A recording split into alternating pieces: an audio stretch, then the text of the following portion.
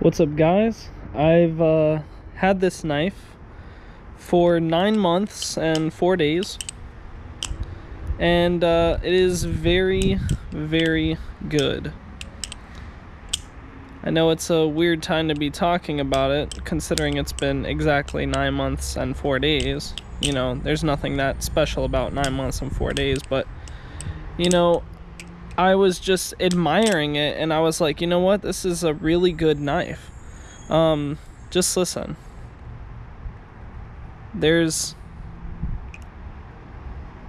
that was a little bit of handle lift, but there's no tap. It's super smooth.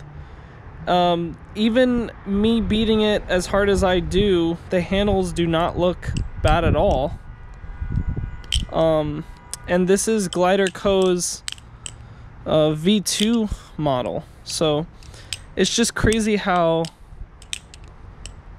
you know, their V2 not only looks, feels, and performs well, you know, almost a year later, but it's just, uh, yeah, just another little message that Glidr Co. is kind of a slept on company um, at least in the US. I don't know how popping off they are in Australia, but yeah, I think um, I think people need to start looking more into this company because their material for the price is very reasonable.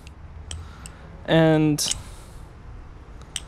the design performance and uh, material for the price is just good. So yeah